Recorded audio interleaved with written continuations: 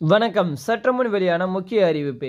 தமிழக தேர்தல் முடிந்ததும் நிச்சயமாக புதிய வகை கிளம்பும். அதாவது தமிழக தேர்தல் முடிந்ததும் மீண்டும் கொரோனா தொற்று அதிகரிக்கும். தமிழகத்தில் கொரோனாவின் மூன்றாவது அலையின் தாக்கம் மெல்ல மெல்ல குறைந்து வருகிறது. இதனால் கொரோனா தடுப்பு நடவடிக்கைகளை பின்பற்றி கடந்த ஒன்றாம் தேதி முதல் பள்ளி கல்லூரிகள் திறக்கப்பட்டு தற்போது நேரடி வகுப்பு நடைபெற்று கொண்டிருக்கிறது. மேலும் ஞாயிற்றுக்கிழமை முழு ஊரடங்கு ரத்து இரவு நேர ஊரடங்கு ரத்து செய்யப்பட்டுள்ளது.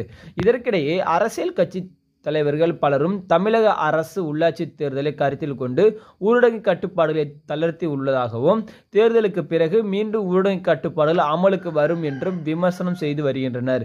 இந்த நிலையில் தென்னாப்பிரிக்காவில் கண்டறியப்பட்ட புதிய நியோகோவா என்ற வைரஸ் மற்றும் ஒமைக்ரானின் திற்பான பிஏ டூ இரண்டு வைரஸும் அபாயகரமான வைரஸ் என்று உலக சுகாதார அமைப்பு எச்சரிக்கை விடுத்துள்ளது.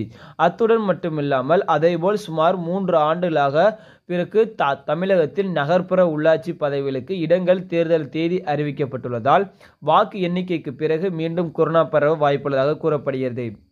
எனினும் அரசியல் கட்சி சார்பாக தேர்தலை முன்னிட்டு பிரச்சாரம் ந- நடைபெறும். அப்போது கட்சியினர் கொரோனா தடுப்பு நடவடிக்கைகளை பின்பற்றுவார்களா என்பதை கேள்விக்குறியாகியுள்ளது. இதற்கிடையே சுகாதாரத்துறை செயலர் ராதாகிருஷ்ணன் தமிழகத்தில் தற்போது கொரோனா பாதிப்பு குறைந்து வருகிறது. அதே சமயமே தேர்தலுக்கான பணிகள் தீவிரமாக நடைபெற்று வருகிறது. அடுத்த சில வாரங்களுக்கு கவனமாக இருக்க வேண்டும் என்று எச்சரித்துள்ளார். எனவே கொரோனா தொற்று பரவல் அதிகரிக்கும் பட்சத்தில் தமிழகத்தில் மீண்டும் முழு ஊரடங்கு மற்றும் ஊரடங்கில் பல்வேறு கடும் கட்டுப்பாடுகள் விதிக்கப்பட வாய்ப்புள்ளதாக பரபரப்பு தகவல் வெளிவந்துள்ளது.